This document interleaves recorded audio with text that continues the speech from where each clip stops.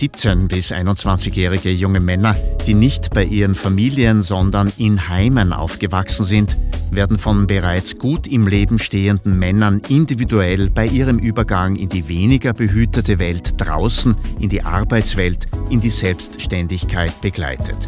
Der sogenannte Patron hatte bereits mit Jugendlichen zu tun und ist als männliche Bezugsperson Vorbild für den Jugendlichen. Sie machen gemeinsame Unternehmungen wie Fischen oder ein Eishockeyspiel anschauen. Zumindest zwei Jahre lassen sich die aktuell zwölf Tandems aufeinander ein.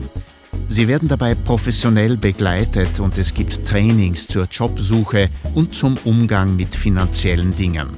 Die nächsten Tandems werden bereits gesucht.